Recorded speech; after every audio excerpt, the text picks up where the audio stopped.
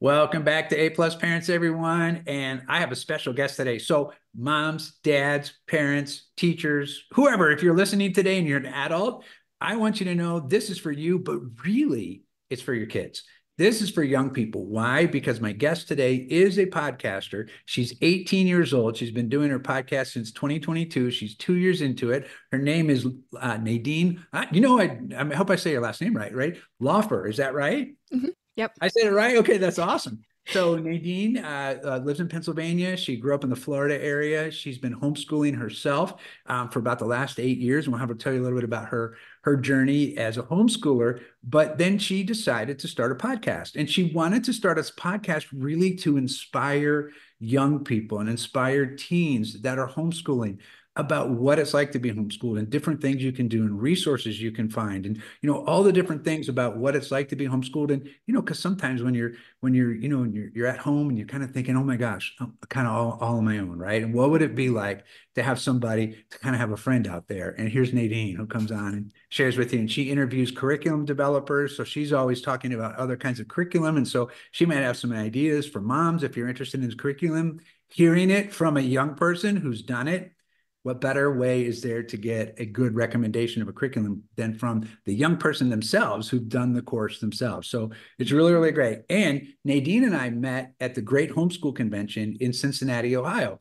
So Nadine, I don't know. I think I told you, but you know, I have I, I call it, I don't know what other people call it, but I call it, I have what's called booth ADD, which just means that for me to stay in my booth for very long is not a mm. good idea. So we have our staff come with us too. And so I wander around and go out and meet people. But I'm always looking for people that we could have come on the podcast. And I met you and I was like, oh my gosh, what you're doing is so cool. And that's so that's how we got to meet. And you you got to speak this year at the Great Homeschool mm-hmm. Convention. I think it was your first time there, which is awesome. So just super cool. Um, okay, so for now I know people are already like, well, all right, well, how do we find her? They're ready to go to your to your site, and here it is. So it's called HS, and I asked her how, how why we have it this way. It's HS High School Podcast Podcast.buzzsprout.com. And the HS, of course, is homeschool. So we're going to have that in the show notes for you. So you can click to it. You can get there. She has an Instagram channel as an Instagram uh, channel as well. But you can get to her Instagram channel from the website because the Instagram name is a little bit long. Yes. So just go on the yeah, but go on her website and you can uh, from the uh, podcast site then you can get to and you can find some of her other social media. So let's see, Nadine, anything I left out about you and who you are in the world? I don't think so. okay, well, that's awesome. Okay, well, tell us a little bit about, um, you know, you're 18 years old now. You've been doing the podcasting for a couple of years, but kind of walk us through how did you end up becoming a homeschooler? Like, mm-hmm. what's your journey that led you to homeschooling? Yeah, so it started about eight years ago uh, when I was in fifth grade, and our school in Florida was right next to the third fastest growing community in the country. And uh, so they couldn't build schools fast enough. Our public school became incredibly overpopulated. And so my parents were like, I don't think this is going to get any better. We actually had a pretty good public school experience. We were very blessed with the teachers we had. Obviously, there was already some things I noticed about it that I didn't necessarily like. The community that I had of friends, um, it, there was a lot of peer pressure and things like that. Even in fourth grade, I noticed it. But um, a group of our friends and their parents started a co op at our local church. So it was actually perfect for my parents to kind of join homeschooling. It was their first, I don't know, experience with homeschooling besides just the few people they've met in college who were kind of weird. So it was it was a new opportunity for them um, to get started and with our friends. So we didn't lose a lot of friendships when we left school. It was pretty smooth tr- transition, and we just kind of fell in love with homeschooling, and we've been doing it ever since then. Um, kind of uh, when we moved out to Pennsylvania, though, we stopped doing a co-op. There were no co-ops around us, so we started doing just what I would call strict homeschooling, where you're at home most of the time. And uh, that's, I think, when we really started to love homeschooling because we really got to explore the uniqueness of it. And if we, you know, we got to be more interest led, I think, and figure out what curriculums worked well for us without having someone telling us what to do all the time. So uh, even in a co op setting, that was it just opened us to the real freedom I think from homeschooling at a different a deeper level and so you know we've been doing it like that ever since and we absolutely love it oh that's so great okay now you have a younger sibling is yes. it a brother or sister a sister. Okay. And so did you did you guys both come home at the same time or how did that happen? Yeah, yeah. She was in second grade. Okay. So she really doesn't remember much of life outside of homeschooling. I think. Um, right. Yeah, but she's never looked back either.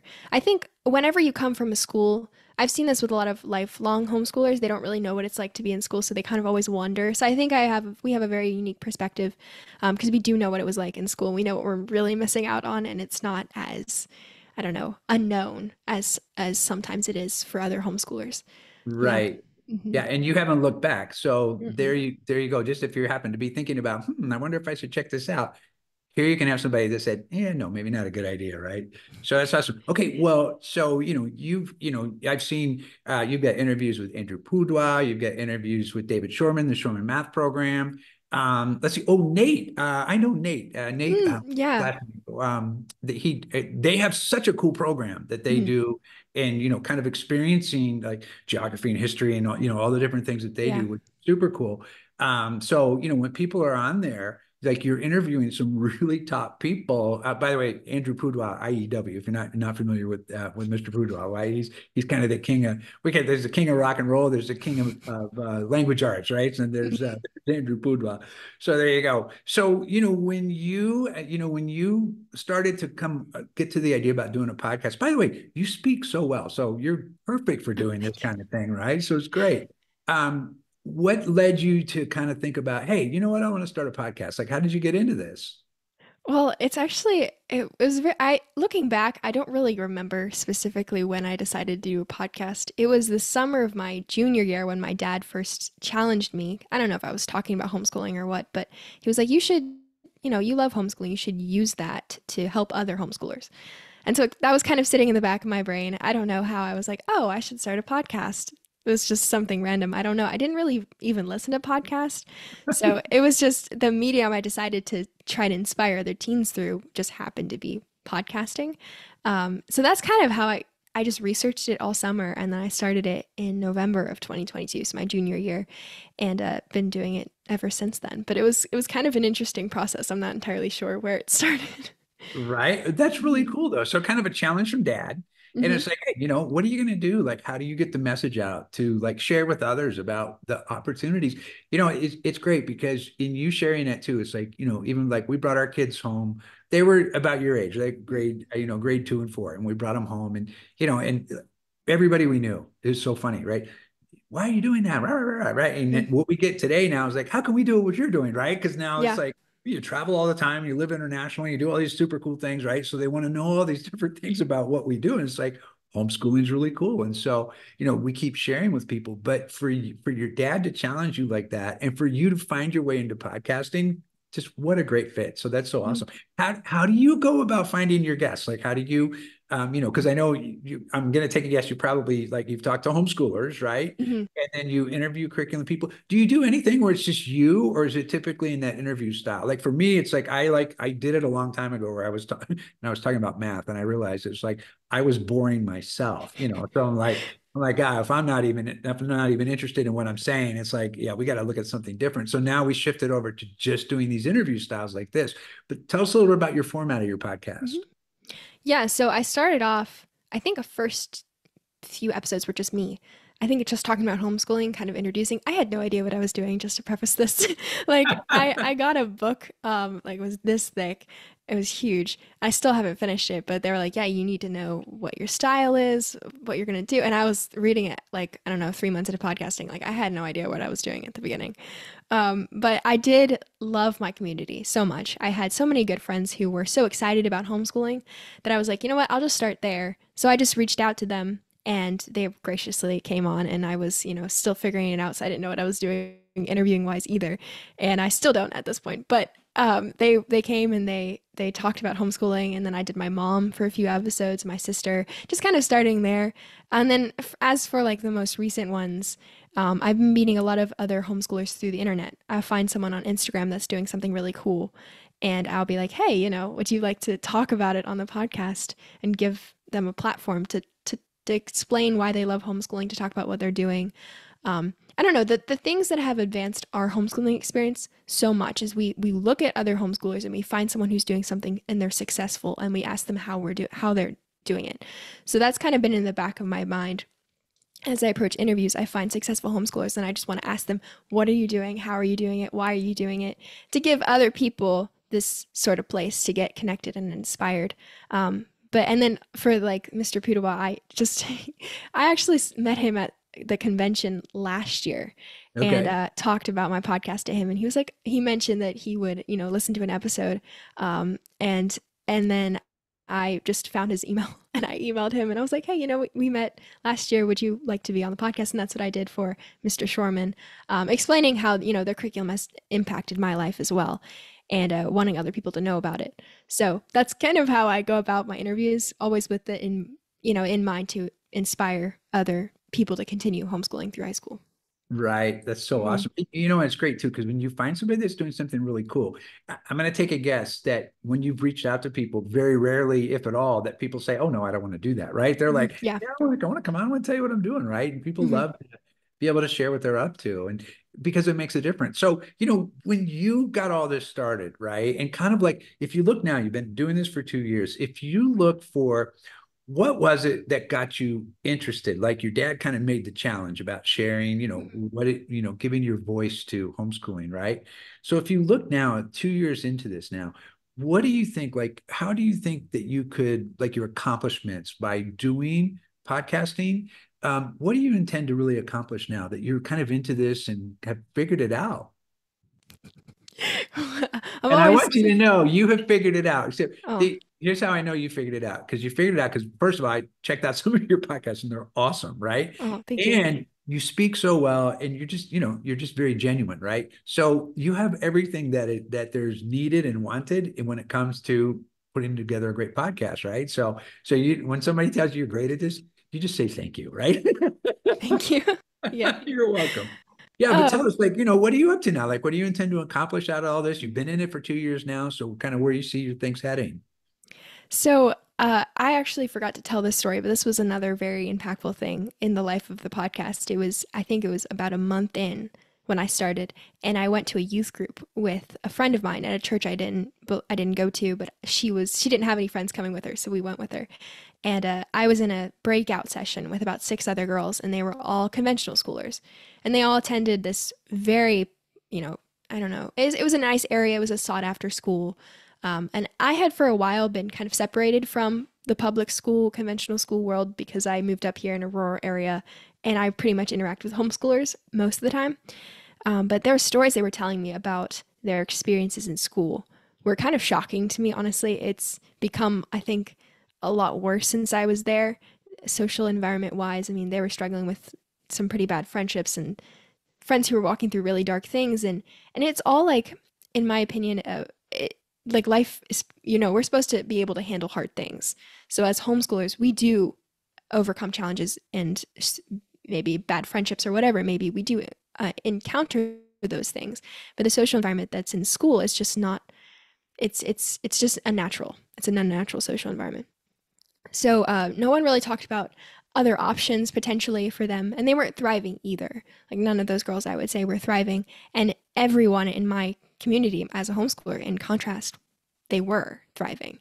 And so mm. I was no one talked about another option potentially. And like if I would have said, oh, you know, you could homeschool, they probably would have all come back with, well, you know, we'd miss out on everything. And and I would, you know, it's just it, there's a lot of stigmas and stereotypes surrounding homeschooling. So I think that was a moment where I was like, okay, well, if I could get more the best way to fight against the stereotypes is, is, stories real life experiences so if i can get more teens to share their experience and if we can get the homeschoolers more excited about homeschooling to overcome some of those stereotypes just by the way we live the way we act the way we talk about homeschooling then hopefully we'll be able to reach more students who are maybe awake to the system to the i don't know the brokenness sometimes of the system to maybe want to homeschool and to start um, reaching other people like that. So that's been in the back of my mind as well. But I I I tried to like direct my audience straight towards that purpose and I never could reach it because I always kept reaching homeschoolers. And until I realized that that's the need though is because we sometimes live in this fear missing out sort of our experience is second rate compared to the public school um, so to encourage the homeschoolers therefore reaching the rest of the public school community with what homeschooling really is became my ultimate goal so that's kind of where I am now I always say encouraging people to be fearlessly, encouraging students to be fearlessly different because um, I feel like sometimes we're not. And uh, there's so much beauty in our experience. And I was listening to an episode of your podcast. Um, I forget the girl's name, but she lives in Africa, I think. Mm-hmm. She, uh, yeah. And just her right. experience is so amazing and incredible. It's so different from tr- traditional schooling. Right. But there's so much beauty and so much value in it. And if we could just continue to share stories like that, um, to inspire us to do something completely different, uh, but just as cool, maybe even cooler. You know, it's just that sort of thing has been the driving force behind the podcast. Yeah. You're so you're so right. And you know, it's amazing when you talk to homeschoolers and you hear about things that they're up to in their life.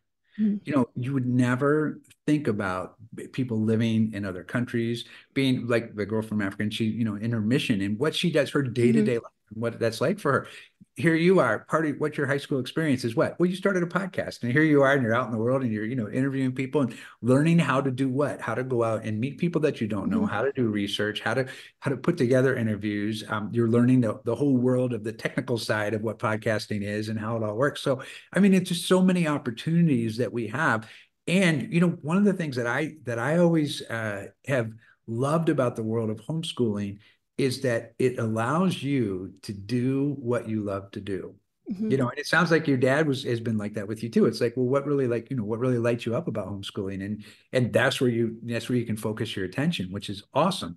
And you know, in my day, when I grew up, and probably your dad, your dad's probably sharing this with you because you know, when we were young, we weren't encouraged to do that. What we were encouraged to mm-hmm. do was, you know, you go to school, you go to college, you get a job, and then the things that you really love to do, we call those your hobbies, right? So, but it doesn't, in today's world is really not like that. And, you know, for homeschooling, it makes available the opportunity for people to really find those things they love to do and then dive right into it, which is yes. awesome. You know, it's really cool you know, it's fat. It's funny. I've, I've been doing some research on, you know, on colleges and businesses and things like that. And one of the trends in business right now is kind of moving away from people with college degrees. There was an article we just saw about Walmart and Walmart, and whether you like Walmart or don't like Walmart, whatever. But you know, but what they're doing is they're opting out to bring people in and train them instead of them going to college and then they get out of college and then they still have to train them anyway for the kinds of things they want to do. Mm-hmm. But they're training them in cool things like robotics and they're training them in um, pharmaceutical, like working in the, um, you know, in the pharmacies. And mm-hmm. it's like, wow, that's cool. And one of the things they said in the article was that what, you know, they know that they're going to do this training and not everybody's going to stay.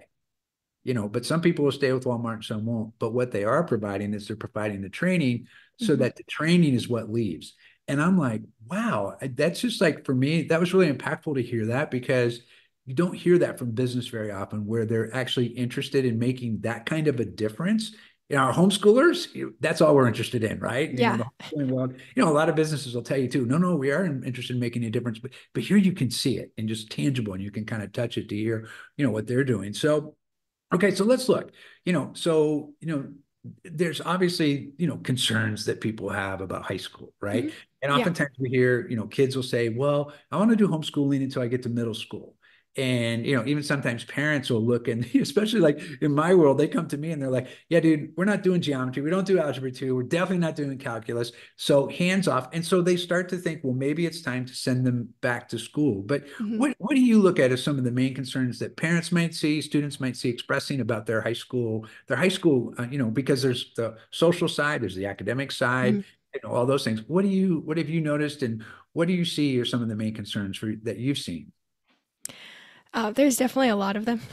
Um, but I, I do see this trend of families who are like, oh, we homeschool up to eighth grade and then we don't homeschool anymore. And I wish uh, I met a lot of them actually at the convention and I wanted to, looking back, I wish I would have said, oh, why? I want to ask them why specifically. But I think the underlying concern is just success. I think that is what that was the concern for my mom and me whenever we entered high school. I remember eighth grade was the end of eighth grade. I was just like, oh my goodness, next year's high school. Like it just felt like this big thing that we didn't really know how to navigate. And my mom was always concerned with like, am I doing enough? You know, is this going to be enough to get into college or whatever it may be? Like that we're going to mess up somehow. And it is, you know, high school for a long time has been like a launch pad, I think, um, that we're building. And if we don't build correctly, then we might not be able to get where we want to go. At least that's my, that's how I think about it. Um, in, in terms of how we approach homeschooling in high school. And so I think that's the main over over uh, arching concern. Uh, and and to address that though, Um, it's, I mean, it's very individual. It's very specific to each person, but uh, success is it can look different. Um, like in school, it's very it's it's drawn out. Like uh, getting into college is one of the main things we you know to success, and there's so many homeschoolers who have done that successfully. I mean, I'm one of them, and I didn't you know jump on the whole. Uh, uh, I don't know SAT prep book or whatever it may be that I see a lot right. of time floating around the convention, like all these things like you're gonna mess up your kid if you don't do this or that or the other.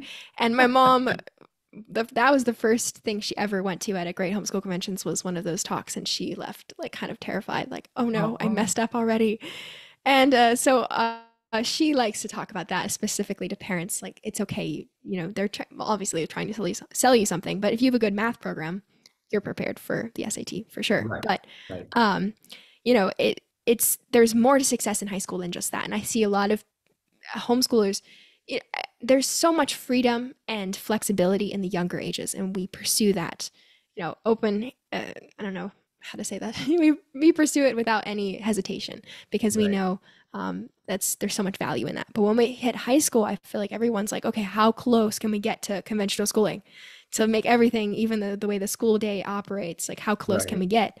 And we lose a lot of that freedom. And i was tempted as a student to do that because I didn't have anything else to structure high school off of. So I was just like, okay, well, if they're in school from 7:30 to, to 3, then I must be. And if I wake up later, then I'm already behind everyone else. And so that was my first years of high school, and it was not fun at all. Mm. Um, and it was something that my parents didn't do that to me. It was because, you know, whenever you homeschool, your education becomes the student's responsibility in some ways, especially in high school. So that was my own initiative, that structure. And uh, it was, it was not, there was no freedom in that. I lost a lot of it from from when I was in eighth grade and, I, and seventh grade. Um, but it was it was you know this once it was actually Mr. Pudewa who said it. Um, you know, homeschooling is not conventional schooling from home. We're doing something different on purpose, and that just totally flipped my attitude, and mm-hmm. even my attitude towards what success ultimately looks like. Does it look, uh, you know, more towards what the word says success should be versus what the system says success should be. And obviously, you know, school subjects are important, everything. We do that sort of thing, but they're not right. our ultimate. There's so much more we can do.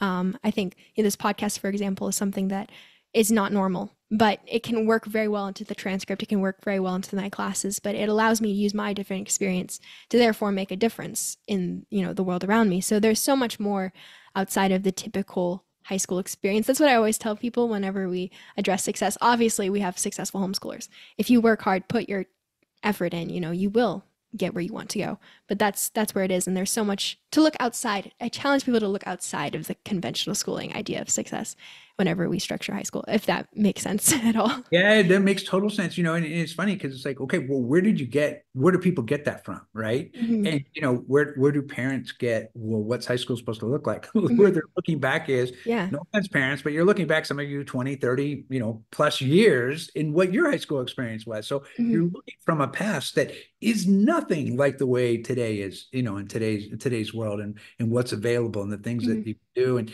uh, you know, and it's funny because it's like I was mentioning about, you know, about Walmart and people, they're saying, well, we're going to train people instead. And uh, my daughter is, she's a year younger than you are. And she, um, she said, she goes, she goes, you know, dad, she goes, I think I'm done with high school. said, really? Well, what does that mean? She goes, well, she goes, let's look. And so we looked at all her credits and she had plenty of credits and she had clept out of some, she'd taken some college yeah. and she clept out. She'd already had college credits. And I was like, all right, sweetheart, well, well what do you want to do? And she goes, I, I do want to go to college. But her experience in college is she wants to go to college in France, right? That's her thing. I said, well, you got a couple years because you know you got to you know need a few more years where you can be a little more independent to live on your own. Mm-hmm. But she found a college, so she did that. She found a college that has a campus in in Paris, France, but it's based in Florida. So she applies to the college, and they said, well, you know, are you ready to graduate? Yep, we can graduate her now early, and you know, and so you know, for her. And then she went and she said, Hey, dad, they got a, uh, you know, they got this essay program and I can get a scholarship. I was like, go for it, sweetheart. Right. Mm-hmm. So sure enough, she writes an essay about being a global citizen and she got a 50% scholarship. Then she starts wow. college fall, right? Yeah. and the college said, but we can't have her start yet because we're not used to having people under 18 start college.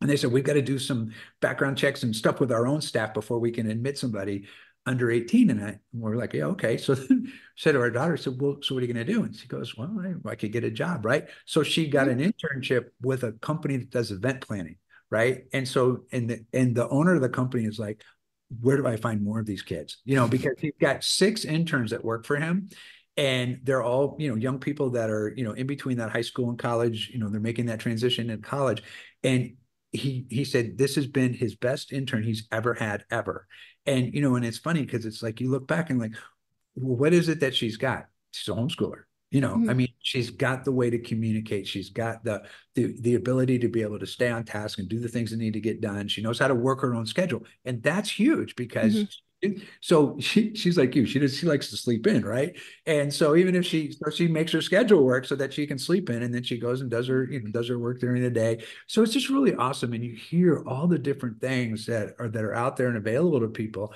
And it really is like you said it's like what if you look beyond what's traditional? What is it what is it really what does it look like? And what do you you know for me it's always been about well, what do you love to do? And if you're doing mm-hmm. that what else is there, right? That's for me, that's my definition of success. You wake up every day and you can say you're doing what you love to do. Mm-hmm. And I'm like, you know, if I can do that, I love doing this kind of stuff, right? So it's like, yeah, I'm I'm kind of digging it, right? And I didn't get to do that from when I was your age and being, you know, being 18. I was doing something totally different because that's what everybody told me I was supposed to do, you know. Go to college, get a job, and I got a job, and I didn't like my job, and I was like, "Oh, this is horrible." so there was that world. So it's mm-hmm. really great. And I know you, uh, you know, you talked about the the FOMO, right? So, mm-hmm. any last words about teens that want to overcome FOMO, that fear of missing out because they're homeschooled? So, what would you say? Any any final words of wisdom there? Well, I think it was exactly what you talked about, which is find something you love doing and then pursue it um, at a very, you know, as far as you want to go at this point, because we have the time, we have the flexibility to be able to do that sort of thing. I've met so many homeschoolers who are published authors because they love writing and they're like, why not just publish a book? So they did, and it counts for their school too. Um, and then one of them, you know, she's still publishing. She's 20, and now she's like, you know, she's really getting up there, and it's amazing to watch.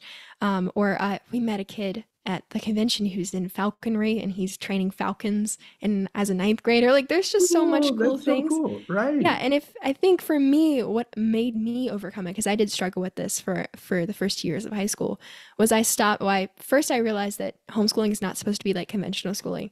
So that uh, opened a whole different door for me like okay what is it then? What is it supposed to be? And that's something you get to decide for yourself about which is something so exciting.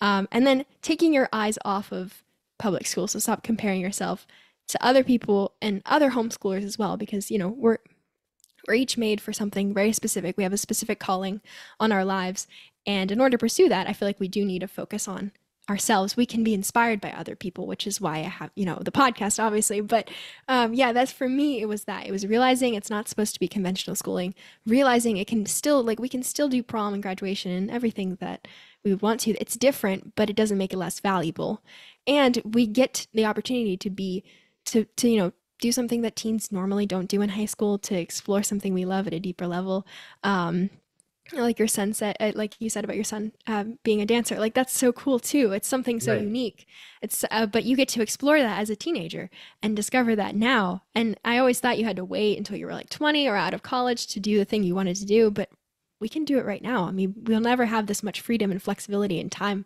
available to us why don't we just that's for sure. yeah. So that those two things I think have been the main uh, uh, overcoming for me is discovering why I homeschool and realizing I'm part of a movement, something bigger than myself, something that's really cool, um, and uh, taking my eyes off of everyone else and kind of just focusing on what I have and how I've been blessed. The I think my mom put it really well. You know, it's the abundance mindset. You look for the abundance in your life and don't focus on the lack. Um, and that really does transform the way you view your homeschooling experience, I think.